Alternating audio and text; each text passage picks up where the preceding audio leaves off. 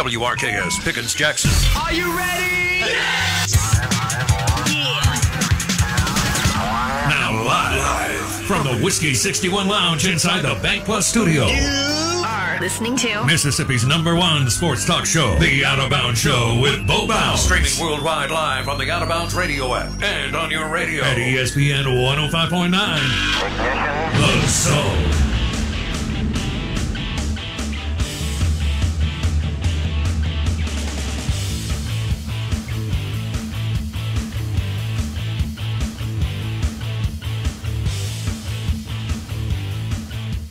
And we're back. Hour number two of the Out of Bounds show. Uh, brought to you by the Bacon Wrap Shrimp, Scallops, 10 ounce filet, medium rare, Casa Prime and the Renaissance. Pair it with uh, Four Roses single barrel, old fashioned. CasaPrime.com to make a reservation. Good morning. Good morning. We're live in the Bank Plus studio. Super article on Bank Plus, djournal.com djournal.com. Really good piece on uh, on Bank Plus. Welcome in, welcome in. Show me the money was fun. I'm I'm excited about that. Got to make that paper. That's funny. That's a funny liner. Uh, yeah. Thank you. I I wonder if we could do that twice a week. I have to think about that, but at least we did it this week. We missed it last week, so uh, that was that was Blake Blakey Blakester's fault.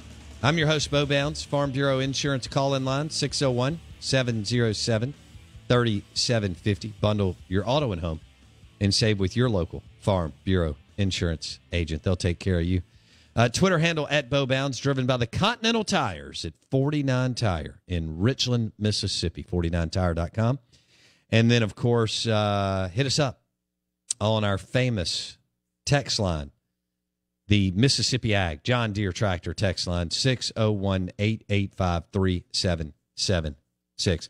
We're streaming live on the Out of Bounds radio app, and you can listen to the MRA JA Championship game 115 Saturday, Veterans Memorial Stadium. You can listen to that game on the Out of Bounds radio app.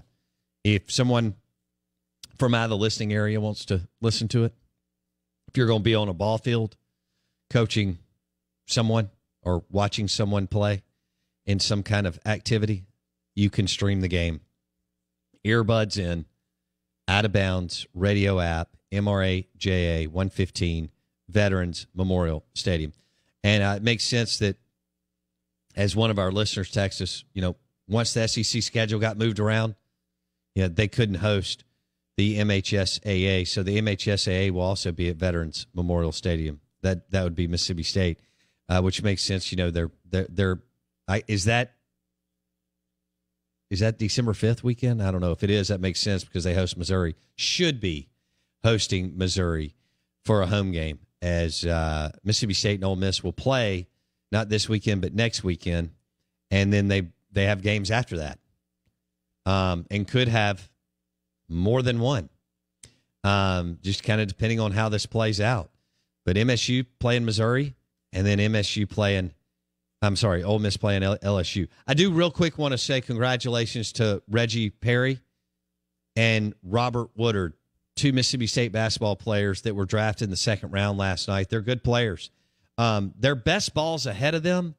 I don't really know what they'll be as NBA players. Woodard to me looks like a guy that could have more success, but Reggie's very talented and athletic and has a, a nice shooting stroke for a big man.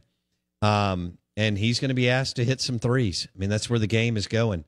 But um, yeah, Reggie Perry to the Brooklyn Nets.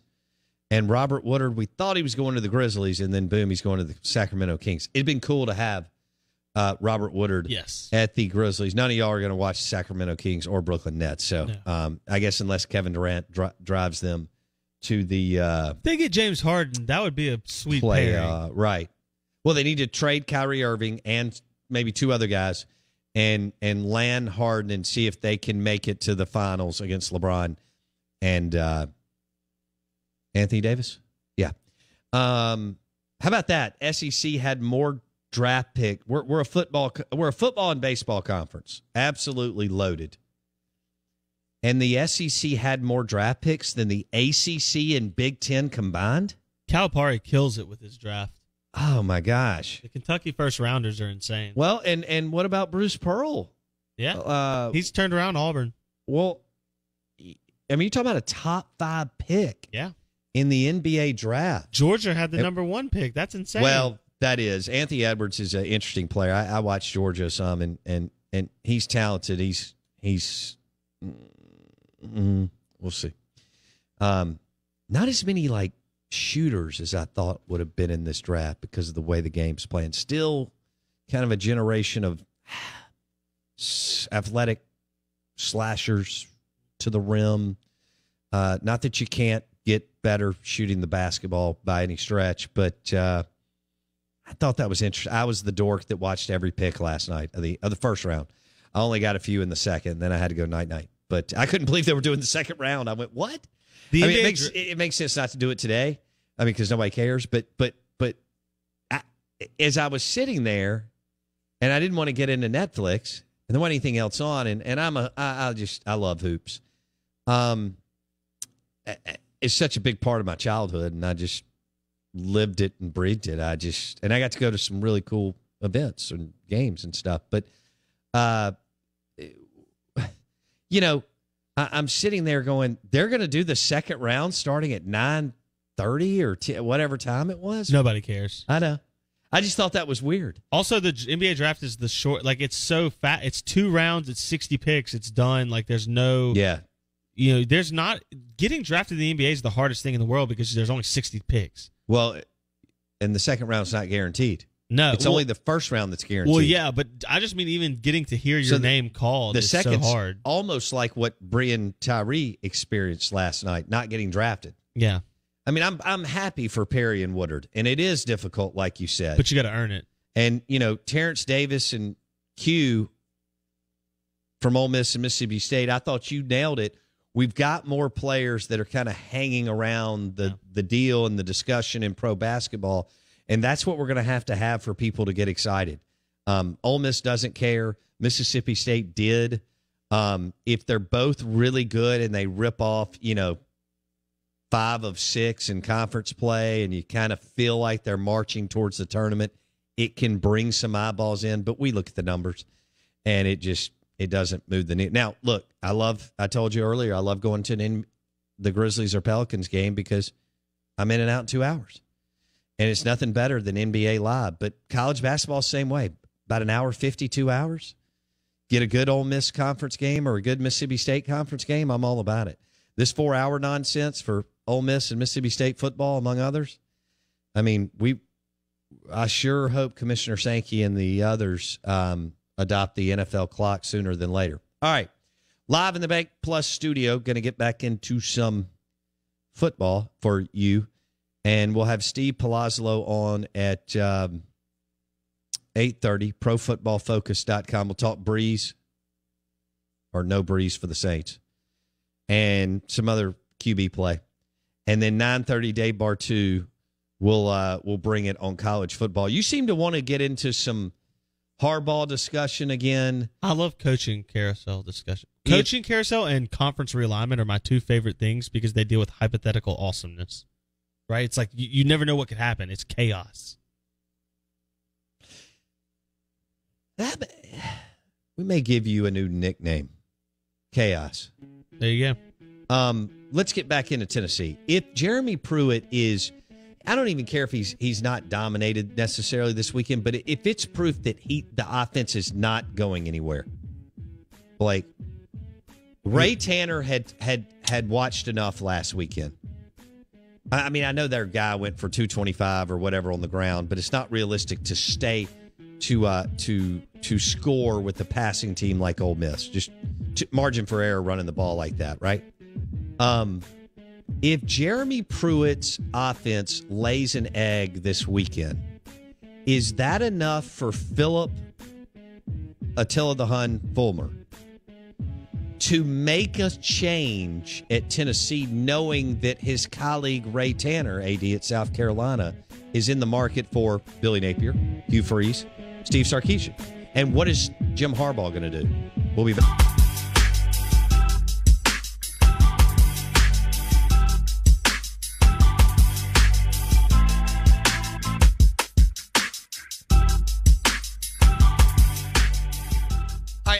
Have some fun with something today. Um, I'm going to give away two copper cups. Aren't, aren't they copper Tito's vodka cups? Yeah, they're uh, they're the like mule mugs, basically. Is Yeah. what they are. Moscow right. mule mugs. Yeah, Say that again. I'm sorry. they're like the Moscow mule mugs. yeah, yeah, yeah, yeah. Yeah, Um, to give people an idea. I don't know what, what was going on with the headset.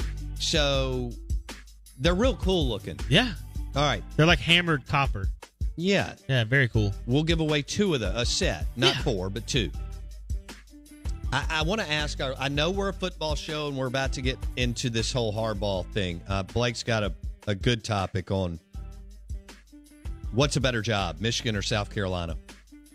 I know you never thought anybody would throw that out, did you? Um, but but we've got some thoughts here. Okay. There's logic. All right. But before I do that, because I have talked some hoops and I love it, I want to see where we fall generationally. Text me who your favorite player is ever, all time. Magic, Bird, LeBron, Kobe, Jordan. I don't know. Wilt, Russell, Wilt, uh, Dr. J. I loved I love the 76ers in 82. They brought it home for me. Mo Cheeks, Andrew Toney. Was it Bobby Jones? Moses Malone. Dr. J. Yeah. Um, anyway, but will you text me your favorite player all time? 601 885 3776. 885 3776. We'll pick one of you. You get two, uh, what'd you say? Moscow Mules? Yeah, they're Tito's copper, Tito's. mugs. They're real nice. They're Yeah. they're quality.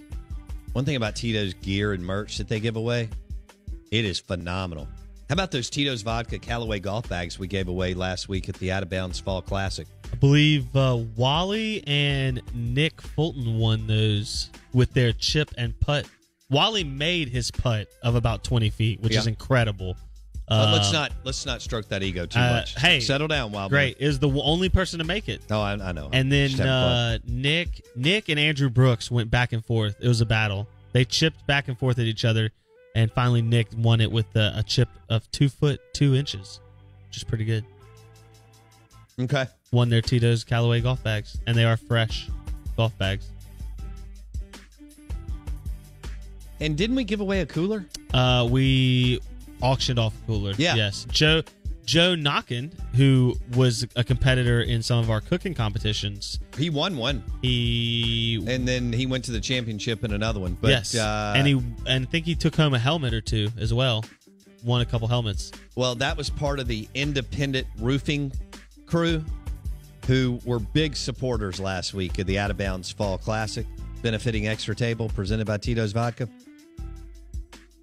Joe, yes, that's right. Independent Roofing, the number one commercial roofing company in Mississippi in the Southeast.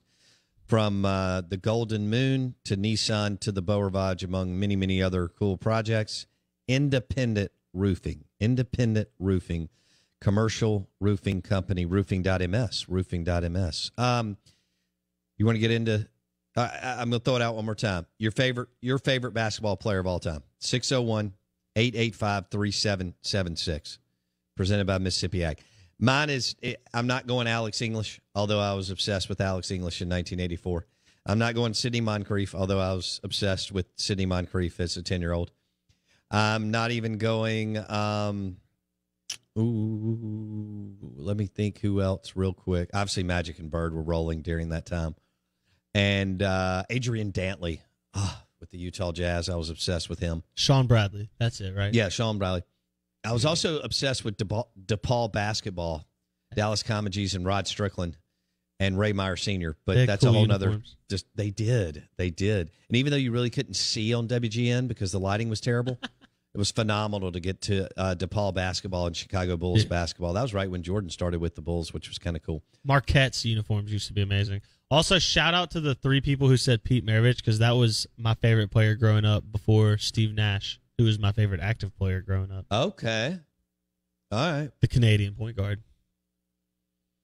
The Canadian point He guard. He was incredible. Is that your favorite player of all time? Probably. I mean, I know that's like he, he, we're not talking best player. I get that, but like No, I'm just saying your he favorite was player. he was my guy, man. You know why? Because for me, it was like I could be Steve Nash. Not actually, but like in my mind, No, no, no, playing it. playing as a kid, it was like I could. That's and that's what I tried to do growing up: pass the ball really well, shoot as well as I could from the free throw line, and just make you know make everyone else's life easier offensively as a point guard. I loved Steve Nash. I thought he was incredible, Oh, I love this. and by virtue, I loved Pete Pete Maravich, Pistol Pete. He was amazing. okay, stop. Um, I, we just had a listener text in Charles Barkley. That's a man after my own heart.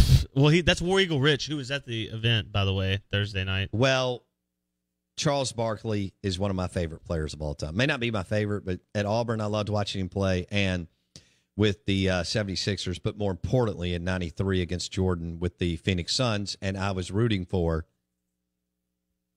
Charles Barkley There you go. and the Phoenix Suns and the Bulls and Jordan ripped my heart out. Yeah. The Go round ahead. mound to rebound. Yeah. Loved it. Uh Dikembe Mutombo. Love his finger wag. We Let's got his not. name. Let's stop. Let's What do you get- mean? That, that's That can be people's favorite I don't- player. Stop. Why? Why? Stop. What? That's just ridiculous. If you grew up and like you were in Houston or as Andrew said in Denver when he was playing, why why can that not be your favorite player? I'm already bored. Let's go back Oh to my uh, gosh. South Carolina That's and ridiculous. Michigan. So Blake throws out in football. In football, what's the better job? And you could make an argument. I know this is nuts. You could make an argument that the better job is South Carolina. it's not even an argument. First of all, money. I mean, it, Michigan's bigger, has a bigger endowment, all that, but still, South Carolina can pay a coach north of six or seven million if they want to, uh, eight million if they wanted to, um, or more. Location, prospects, players, assets, whatever you want to call them, everywhere. Not even close in comparison. If you're No. comparing Michigan, South Carolina wins that one hands down. No. Does South Carolina have a tougher schedule? Yes. Mm. But Mm. Michigan, who believes that Michigan can get past Ohio State anytime soon? Or once out of every four years. Right. Not even close, right? Right. They're 0 and 14 now and 0 and 6 in the Harbaugh seasons. Mm. So in my and my argument was during the break is that it's actually not an easier schedule at Michigan because he's 3 and 3 against Michigan State the last 6 years. They're they have been embarrassed in 3 of their last 4 matchups with Wisconsin and they're they're basically going back and forth with Penn State almost every other season. Mhm. So for Michigan, even though they recruit well, they're they are not even the second best recruiter, I don't think, in the Big Ten at this point anymore. I think Penn State and them kind of go back and forth. Wisconsin's up there as well. You're falling backwards at Michigan, and you can't ever, you can never win your division because you can never beat Ohio State. Well, here's here's the deal. I I, I disagree with you there. Um, just because he's losing to these teams, uh, they don't. Uh, several of them don't recruit that well, and uh, South Carolina has to play three top ten recruiters in Georgia, Florida, and A and M um, every year. And Tennessee's a top fifteen recruiter. But I do like it that that job's a better. I mean, they've invested in their facilities. You got sunshine. You're in the Sun Belt. You, uh, you your division is is so much better to play in, right? It, it's just the path of least resistance in the East compared to the West. It's a good program. It really is. And if you get an offensive mind that levels the playing field and understands the quarterback position, like a Hugh Freeze or a Billy Napier or maybe a Sarkisian, does it matter that Georgia out recruits you by 15 spots? I'm not sure it does. Or that Florida gets you by about eight or nine. It tells me that you can beat them every now and then. Um, but it's a good question. Is South Carolina a better job? And what's wrong with Michigan? They've had three coaches that are good coaches go in there and they can't win. Rich Rod Hoke and and Harbaugh. And you know, I think Harbaugh's going to the NFL in a few weeks. Unbelievable. Steve Palazzolo coming up next. ProFootballFocus.com. Steve Palazzolo coming up next. ProFootballFocus.com on the Out of Bounds show and the uh, Sierra Nevada Pale Ale guest line. Steve Palazzolo on NFL quarterbacks. We're live in the Bank Plus studio. Back in a sec. Hey y'all, the Y'all Lifestyle Shop in the Township is open Tuesday through Saturday. Have you started your Y'all Lifestyle Game Day collection? What about your Y'all Lifestyle Barware collection? Come check us out at the Y'all Lifestyle Shop in the Township by Newk's or online at y'alllifestyle.com. Get your wine totes, whiskey glasses, and tailgating essentials at the Y'all Lifestyle Shop in the Township by Newk's. The Out of Bounds Show is powered by the award winning golf courses at Dancing Rabbit Golf Club in Philadelphia, Mississippi.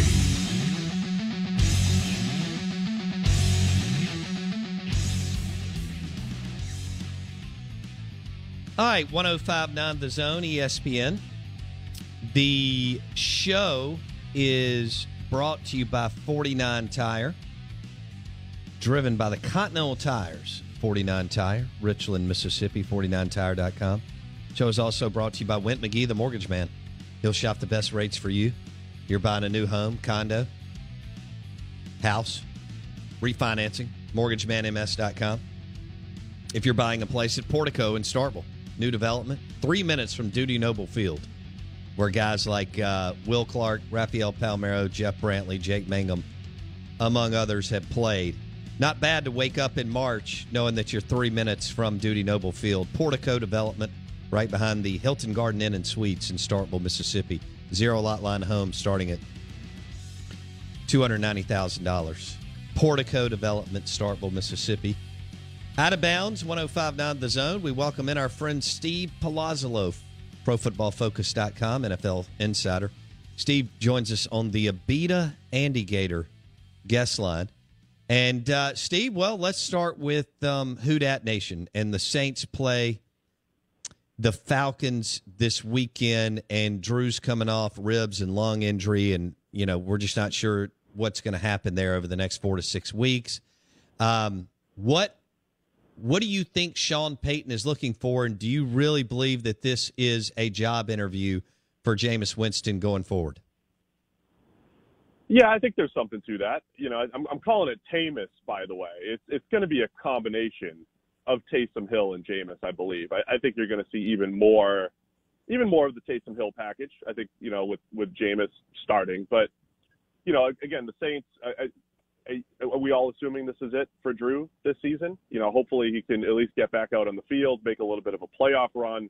But if this is it, yeah, the Saints have to start looking forward. And uh, uh, you know, Sean Payton's been so complimentary of Taysom Hill to the point where it does feel like he's talking him up as the next guy. But there's other evidence that when he has a Teddy Bridgewater and now when he has a Jameis Winston, those guys are the backups. So um, I do think, you know, if Jameis shows well, whether it's three weeks, four weeks, or whatever he has an opportunity to show, uh, yeah, this is a, a chance for Jameis to maybe be the next guy in New Orleans. And it, he's a completely, I mean, he is the polar opposite of Drew Brees so we'll see how that fits into the Saints system this week. Oh, I don't have a lot. Well, I have confidence that Sean can figure this out and win some games just because he's so good. But uh, I kind of think at this point, Jameis Winston is is who he is. How do you see it? So, so, so Jameis is what he is, and it, I, I wrote an article about this last year on PFF.com. So he is who he is, and what he is is using PFF terms. We grade every single player on every play he's a guy that has a high percentage of positives and a high percentage of negatives. So it's it, again, it's the opposite of Brees, who annually leads the league in lowest percentage of negatives, just doesn't miss throws. But it's not like he's a league leader in positively graded throws. He also has he's he's a guy that will, you know, take check downs and screens and short stuff and allow his playmakers to do work. So with Jameis, a volatile throw for throw quarterback, that can lead to an incredible range of outcomes. They could be really good, they could be really bad. But I think if you take that skill set that Jameis has or style that Jameis has and you put him with a good play caller like Sean Payton and now a good group of playmakers. You know, they haven't had this group the entire season when Michael Thomas and Emmanuel Sanders are out there together and Jared Cook. I mean, they've got decent and Kamara, of course. They have guys to throw to. And I think Jameis's volatile style could lead to fireworks on the positive end, right? If they could just, you know, rein in some of the negatives. So um, I'm not ready to write Jameis off just because of his style. I'm fascinated to see how this is going to work with the Saints and if Sean Payton will play to his skill set a little bit more and actually attack the ball, attack with the ball down the field more than they were able to do with Drew Brees under center. I find it hard to believe that Sean Payton really believes that he can make Taysom Hill into a even top 15 to 20 QB week in, week out in the NFL? Steve. So I would view it like this. You know, I, I use this for Kyler Murray quite a bit. Kyler Murray last week with the Arizona Cardinals had one of his worst passing games of the season. The Monday night game that Kyler played against Dallas a few weeks back, he was like nine for 20 something, and it wasn't his best passing game. But the offense still produced in part because of his legs. Uh, so if you do have a run first quarterback, and Kyler's completely different from Taysom, obviously, as a runner, but if you have a quarterback that at least can, you know, whether it's in the design running game or from scrambling, they kind of create this baseline, this floor for your offense. Even on their worst days passing, the offense can still move the ball. So I could see Sean Payton maybe thinking along those lines and saying, well, we're going to completely change our offense. We're running QB power and counter and the play action that comes off of that.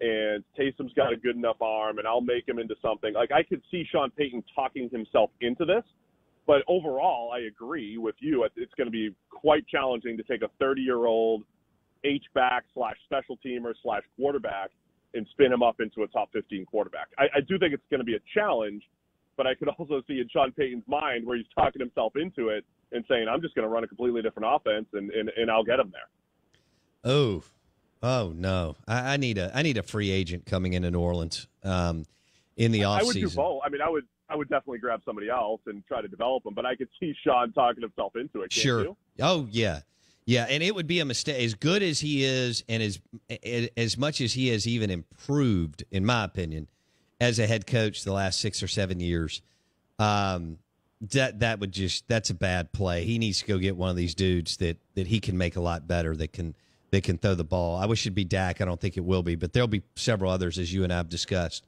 Uh, Steve Palazzolo, PFF.com, Pro Football Focus, NFL Insider. He joins us on the Abita Andygator guest line. And he mentioned Kyler Murray. We have Murray and Russell Wilson tonight as our NFL game, which is exciting. Blake has a question for Palazzolo. Uh, yeah, Steve. When you mentioned guys that move the football and run the football. So there's Josh Allen, Kyler Murray, Lamar Jackson, and then I guess Russell Wilson for the most part. I mean, he's really used his legs well. What is there one of those guys that you lean more towards? Lamar's really struggled. I don't know if that's Greg Roman and his scheme. I don't know if that's defenses getting wise to what Lamar doesn't do well yet. Um, what what is the actual mold of running quarterback that you look for in terms of how much they actually use their legs?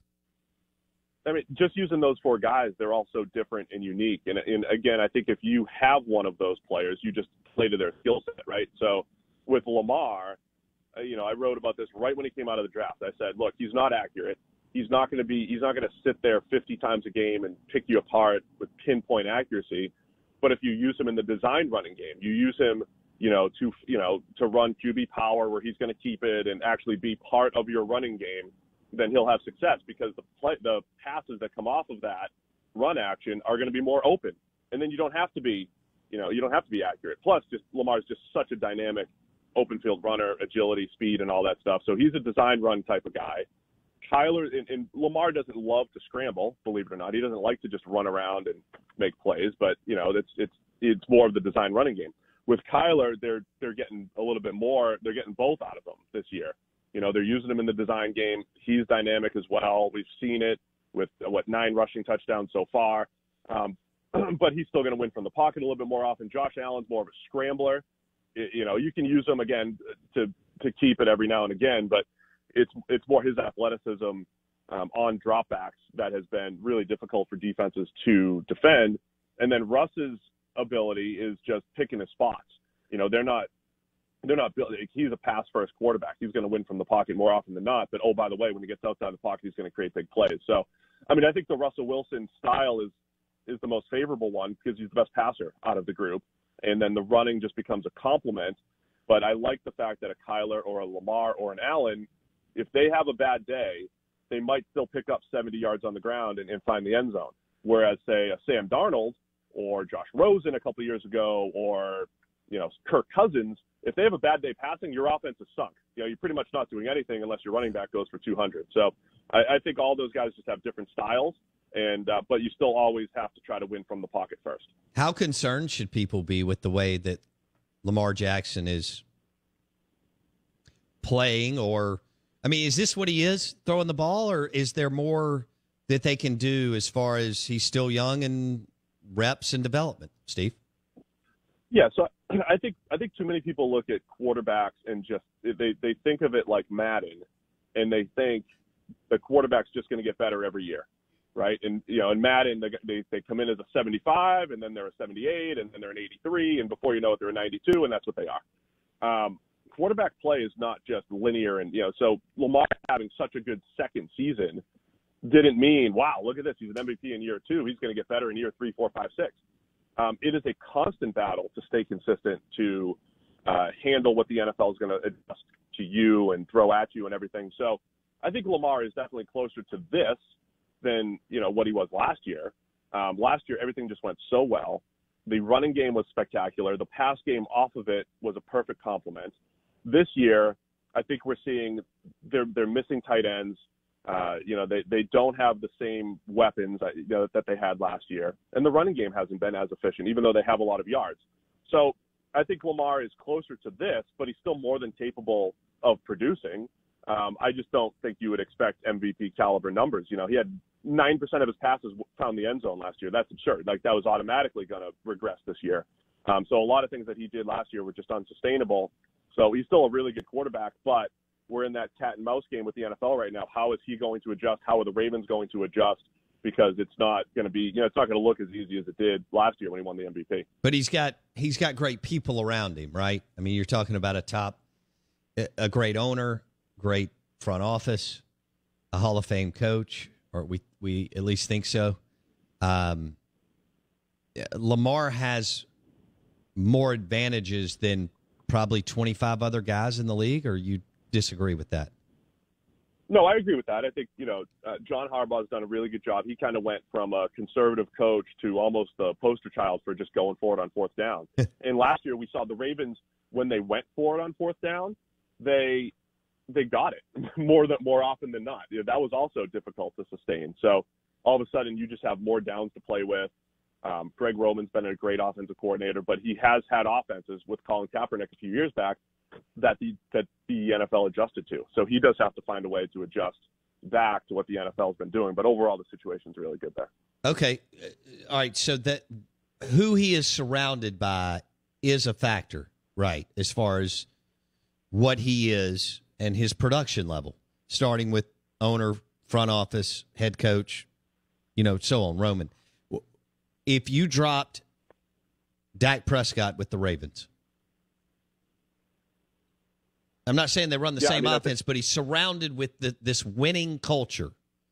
Uh, and what Ozzie Newsome is left in the all this stuff, Bisciotti and so on. Uh, who would you take if you could? If you had the all the stuff that the Ravens have in place, would you take Lamar or Dak? Oh man, that's close. I would. So I haven't seen the, like I've seen them with Lamar is the thing, and I've seen them build an offense around his skill set. I would assume that they would do the same thing with Dak. It wouldn't be nearly as much running. Um, I've always thought that you know you want to you want to have Dak run four, five, six times a game, pick your spots, and you know steal three or four first downs, right? And that's his best use as a runner, but he's still going to win from the pocket a little bit more. I think I'd I don't know I. I, I like what I've seen with them and Lamar. I'd probably lean Dak in part because I'm on Mississippi radio, so I'll lean Dak for now with you guys. Um, because, but that that's trusting that Harbaugh and Roman and the whole organization is going to build around his skill set more. They would need better receivers though right now. Lamar did a lot without name receivers or tight ends. They built the system around him. They created open throws, but it's not like he's got incredible playmakers. I think that's coming back to bite just a little bit this year for the Ravens. All right, fair enough there. So it, so it'd be super super close um, with Dak and Lamar if you gave them the Rave all the Ravens stuff, culture, and everything that they put in place. Uh, Blake mentioned yep. um, Blake. You mentioned Cam Newton. You know, he kind of is. I, I, think you're you're advancing what Steve Palazzolo is saying, PFF.com, in that at some point Cam is what he is, and he just wasn't going to be any more accurate or refined yes. from the pocket. His is MVP, that where you're going? His MVP season was his best season, not indicative of growth. Okay. Okay. Steve? Yeah, I mean that's yeah. Coming coming into the season, I said, look, Cam Newton has eight years in the NFL. One was exceptional. One was that MVP season. And everything else, he he's a middle tier quarterback. That's just where he's played. You know, throw for throw, that's what he's been.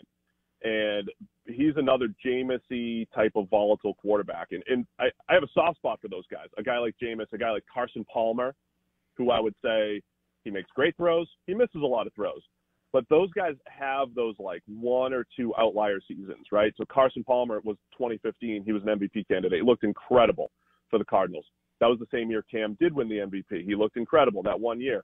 I, that's why I always lean to it. I think Jameis has at least one or two of those years in him where everything goes right. All those great throws, like all those great throws, show up in one season, um, and he cuts down on the negatives just enough, right? Um, but that's but but Cam, I think you look at his career and you say, okay, you have to you have to maximize his value with the run game like the Patriots have.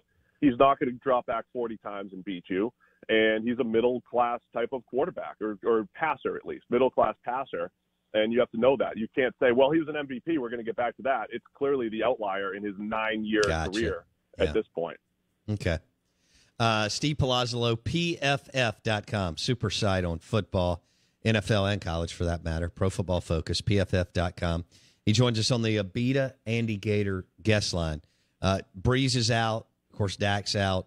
Uh, we've got some other injuries throughout the league, but uh, again, some of the studs are still still rolling. Rodgers, uh, Russell, Mahomes, and and some others. Blake, Yeah, if you're Sean Payton and you're going to probably pick in the 20s, I would think. ooh, Um, if you're picking in the 20s and Drew Brees is done and you're not sold on 30 30 Club award winner Jameis Winston, what who do you pick in the 20s at quarterback, assuming we think six guys are going in, in the first round, like we've talked about? Or if you go free agency, who is your free agent target? Well, I mean, Dak Dak is the prize of free agency until he's locked up, right? So But they can't, Dallas makes a move. they can't afford him, can No, they? they- Uh, probably not. They're in. I, I don't know what the Saints are going to do. I mean, I think they almost have to. I don't know what cap magic they're expected to perform, but they're also going to they're going to lose a ton of players either way. A guy like Marcus Williams at safety, and it's really going to be tough to just lock up that entire draft class from a few years ago. That was great. I mean, I really think they're going to be in this like bring in a Sam Darnold, take a flyer on him, take a flyer on a Marcus Mariota, um, or bring Jameis back. The, the same. I think those guys are capable quarterbacks, capable mid-tier-ish type of quarterbacks in a Saints system that can perform. Um, I think that's where they have to land at least now until they try to get out of salary cap hell. Um, and it and it might be a combination of a Darnold, a Jameis, and a Taysom Hill, right? I mean, we'll see how this experiment goes in the next few weeks. Um, but yeah, it's going to be really challenging for the Saints. I, I think draft wise, I don't know if Kyle Trask or Mac Jones are really top half of the first round type of players. I think Trask is probably bottom half of the first or closer to day two. So maybe end of the first round, you grab one of those guys and see what you can mold there. But um, yeah, it's going to be a challenge for the Saints given all the different roster turnover plus just figuring out the QB situation. was let's switch gears a little bit. Aaron Rodgers is still a top three QB in the league. You agree? Yeah, absolutely. Okay. Year, for sure. Uh, but I love, I, I do love your approach theory, Steve, that franchises need to continue to draft QBs. I mean, they're just that important. So, having said that, was the Jordan Love draft pick in the first round for the Packers the right play, or should they have, you know, drafted a wide receiver or tight end weapon for Aaron or an edge rusher? How do you see that? Yeah, that's one of those situations where like I don't hate the process of getting a quarterback, but the Packers are in such a unique situation. I think where they need like Rodgers is still capable of playing top five, top three football, and you might only have a three-year window with him. And you look at that roster, and it's like, well, we've got Davante Adams and nobody else. And Rodgers had not produced at a high level since he had Jordy Nelson and other weapons to throw to. Uh, so you almost had to, I think, add more playmakers, you know, to to the Packers.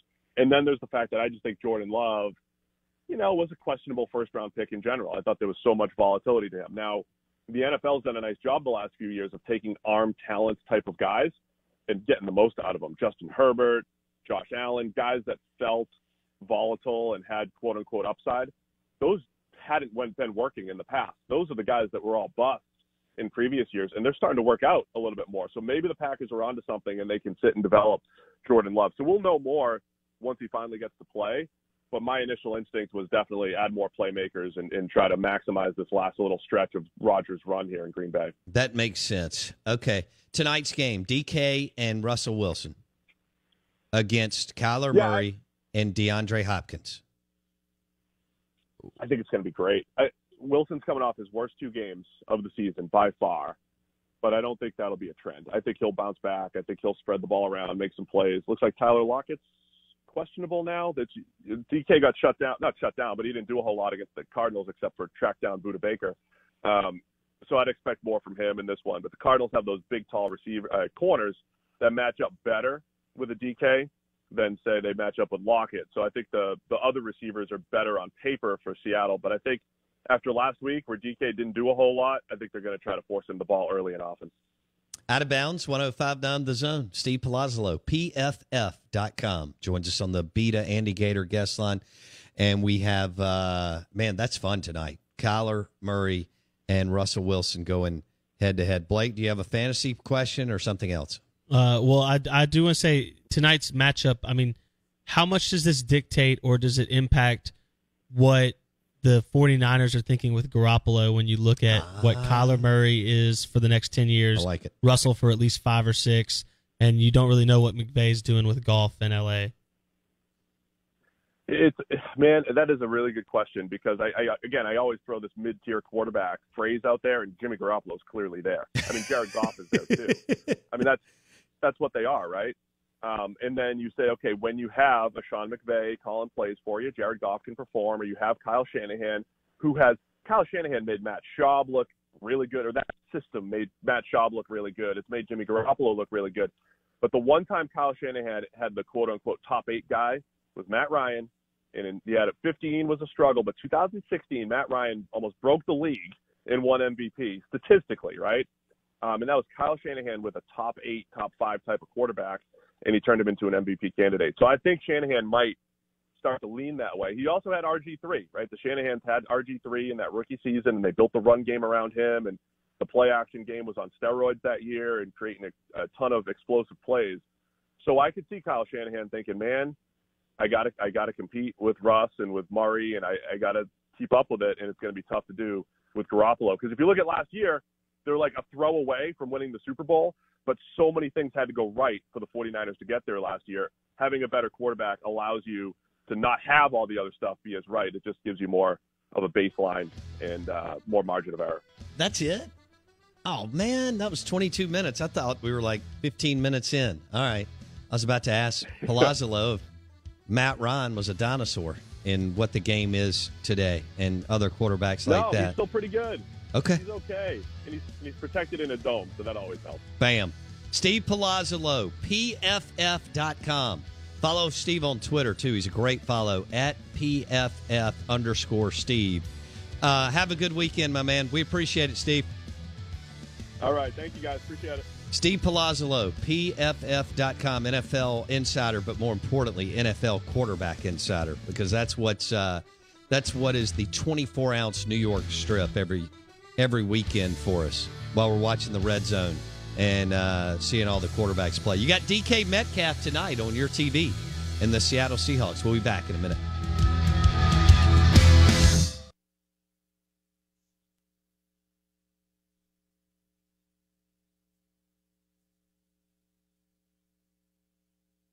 Hey, Went McGee is the mortgage man, and he'll shop the best rates for you when you're in the market for a new home, a condo, or a townhouse. Went McGee, the mortgage man, visit his website, mortgagemanms.com, and he's with the Bank of England.